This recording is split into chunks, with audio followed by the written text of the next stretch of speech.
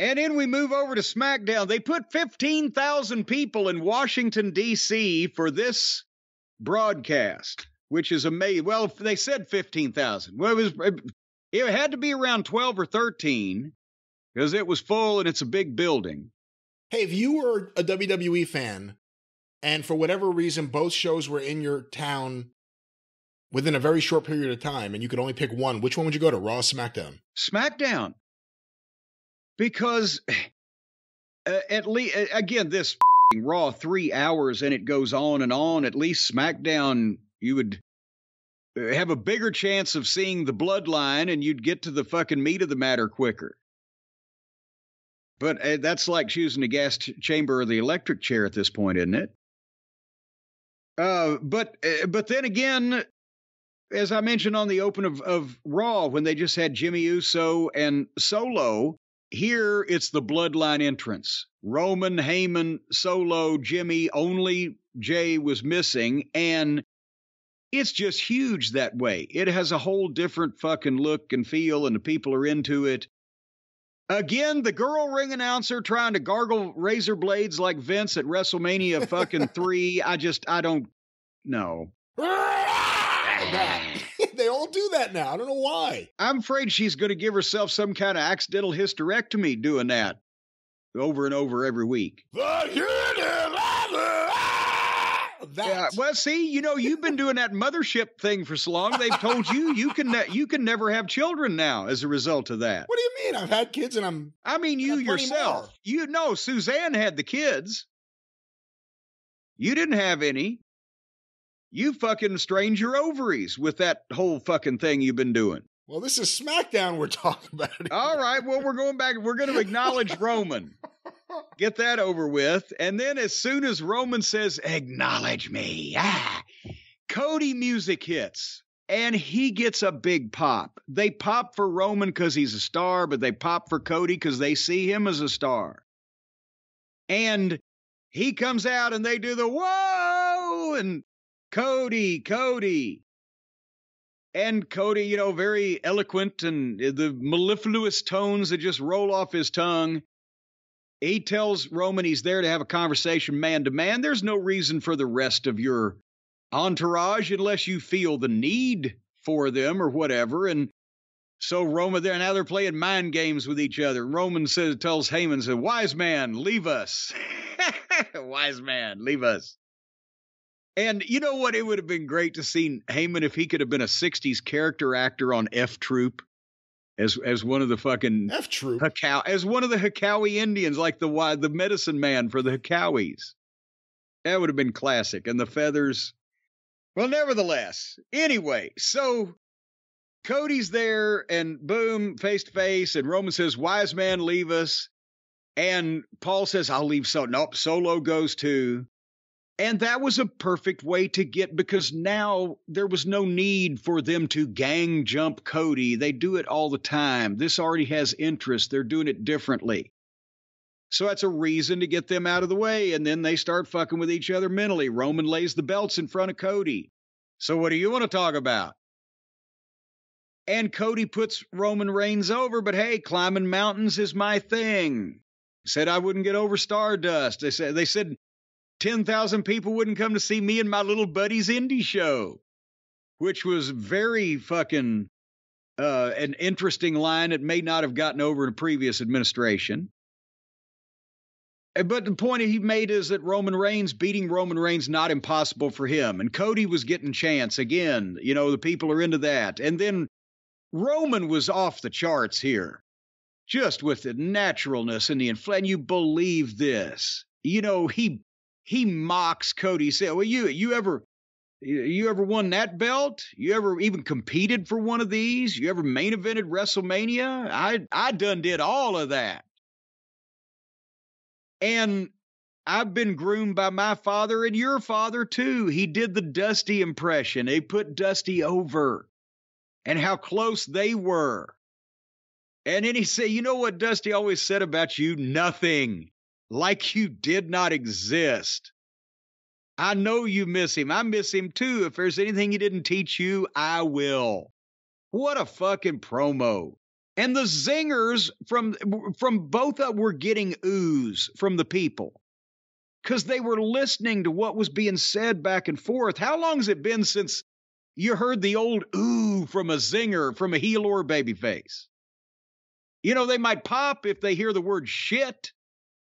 I'll kick that shit out of her. I'll shove this up your ass. But but when you say your mother, I, you know, fucking filleted her or whatever. Ooh. Eh, so anyway, then and Roman offers the handshake after he's just decimated Cody and you know emasculated him. And then Cody, he started beating around the bush to where the people I don't think actually knew where he was going. I wasn't sure, but then he balled it up and finished well with if all the things that you have said, Roman, are true, then that means it is a necessity that I beat you at WrestleMania. For all those reasons, blah, blah, blah, blah, blah. And may the best man win and grabs and shakes the hand that now Roman is like, ah. Uh. And that was a nice piece of business. What'd you think? I thought this was excellent. Can't really say too much bad about it. I'll say one really good thing. You know, a lot of the times in AEW, Cody came across as utterly pretentious on the mic. We we said that, and he admitted that he would go and what was the word that um workshop oh, workshop yes his promos. I'm not saying he's not doing that now, but it's very interesting that a lot of the ways he says things and a lot of the specific wording, things that did not seem natural to him in AEW, it's working a lot better here in this program on these shows, and the fans are reacting to it in a way that they did not in AEW after the first few months. It's a different presentation. And as I said earlier, you know, a lot of this is talking and acting, and they want the guys to be actors. Well, Cody's a a pretty decent actor as a wrestler or for a wrestler. And over in the other company, there were a few good talkers and a few good wrestlers, but there weren't a lot of decent actors. So there was nobody for him to do this. And when you've got somebody doing something that nobody else is doing in a style that nobody else is doing it on that program, it kind of comes off as odd. But this is his his wheelhouse, as they say in the Merchant Marine or wherever. Uh, Rhea Ripley beat Liv Morgan. Hopefully, the Liv, the Liv Morgan being invincible is over. And then they continued the bloodline deal, and there will be an ultimatum here at the end, but they continued the bloodline issue through the show where basically Jimmy is telling Roman, hey, Jay just need he needs some more time. And he only, oh, he needs time. He needs time. I'm running out of patience. Not with Jay, with you. You know, go bring him back in the fucking fold. And then I was gonna I was gonna try to give this as much of a chance as possible. Did you watch the Dominik Mysterio with Mommy versus Pablo Escobar match? A little bit, not much. Just because well, I wanted to actually just the time crunch lately. That's all. Well, I wanted to uh, see how Dominik was doing and honestly, and also uh, uh, Escobar, who was a heel, the uh, leader of the Legados, Fantasma, I, blah, blah, blah, the Lucha suits, right? Well, now he's kind of taking up for Rey Mysterio because he's got such a delinquent son, and he's saying that, hey, I can teach Dominik some fucking respect. And Escobar comes out uh, with Rey's mask and you know, uh, displaying it proudly and etc. And Dominik is getting better. He looks more like somebody now with the long, you know, stringy hair and the the shit he's wearing now cuz he ain't got a great body, so I'm not saying reveal it, but he looks he looks better now and Mommy makes the package. And this match they still they get 90 seconds to the break and when they come back I don't know. Dom was going for a 619, but then he didn't do it. I think somebody was supposed to move or something was supposed to take place eh, because then Escobar just took over and then it got awkward. And then Escobar made a comeback and a big double knockout. And I swear to God, this was the finish.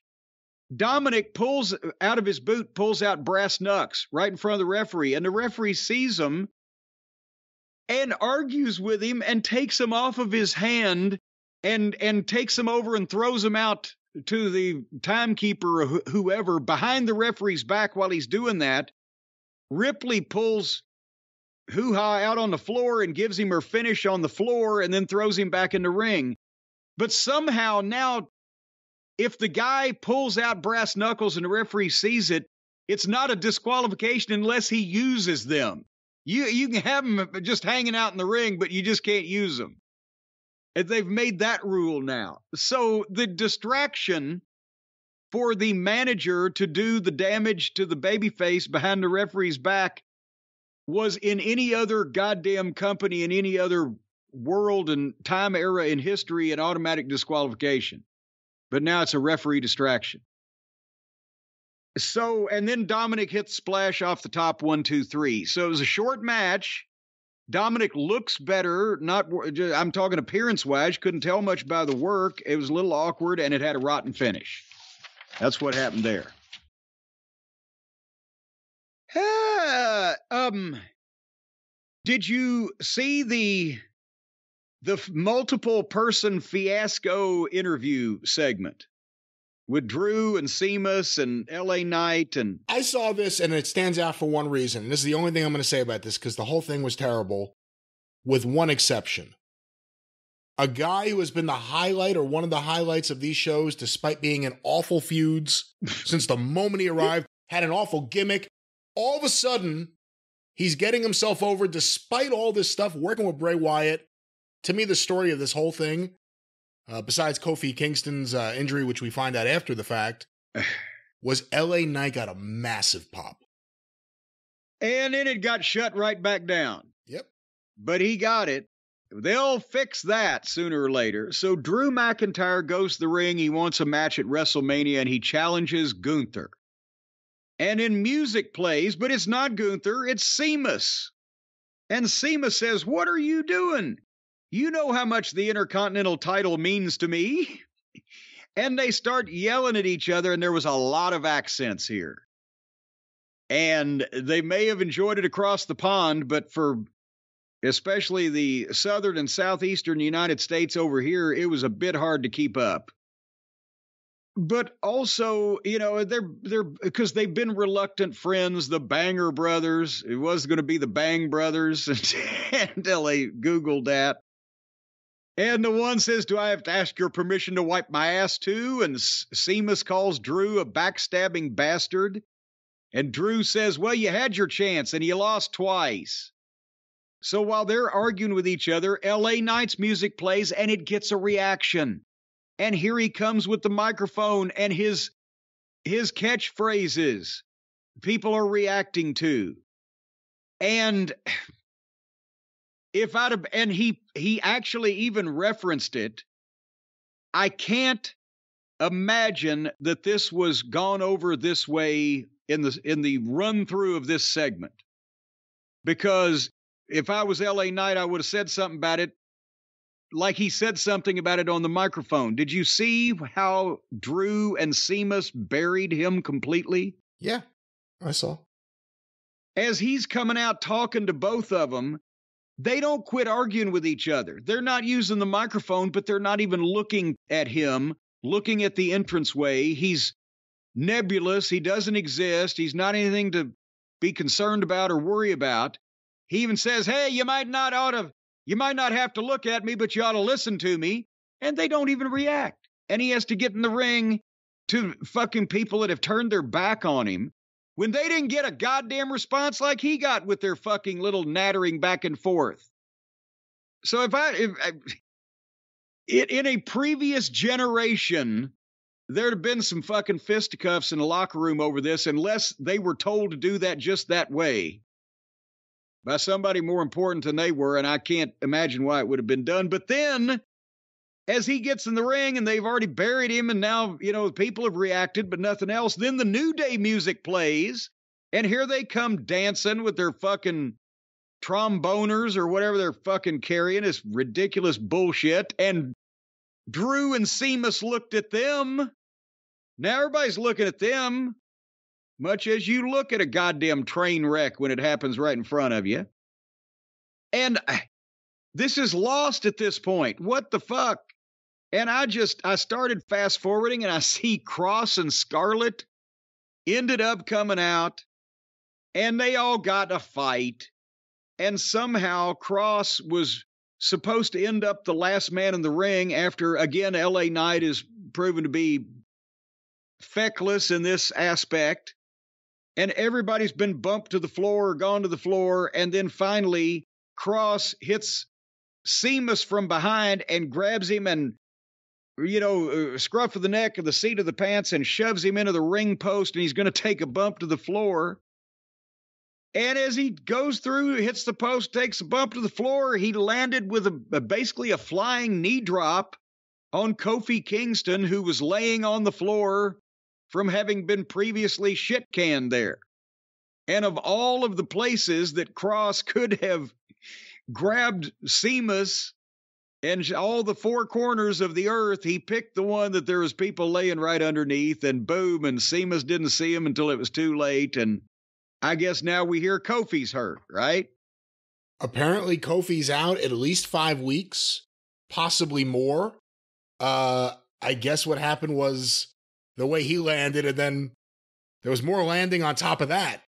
Which... Well, I saw him holding his wrist or arm in some fashion but because Drew was laying there, Kofi was laying there, and it looked like eh, when I first saw it in full speed that Drew landed or Sheamus landed more on Drew because he sold it too. But then it appears that the spin and the centrifugal force came down on Kofi.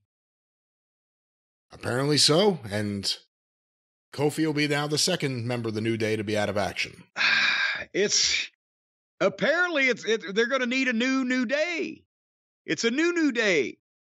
Get John, John Sununu Day. Maybe this is a good thing to end the new day because it's the old day, and we need something else at this point.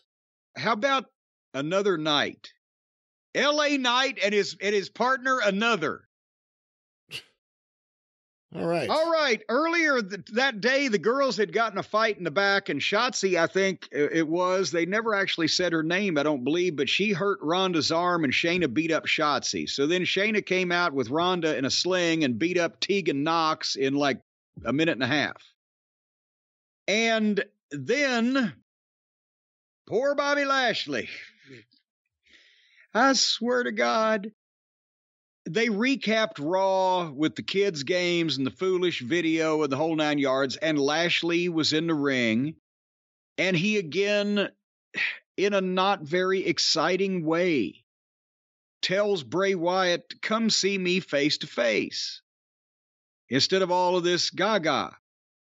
And a spooky video starts playing, and suddenly Captain Howdy, who is obviously not Bray Wyatt, right? Because Bray Wyatt's a lot fatter than this guy. Right. Right? Right. So Captain Howdy attacks Lashley from behind and beats on him and hits the runs and hits the ropes for no reason all the way across the ring, leaves the guy he's on top of beaten up, who's not fighting back, so he can run 20 feet away from the guy and then run back toward him. That always makes a lot of sense.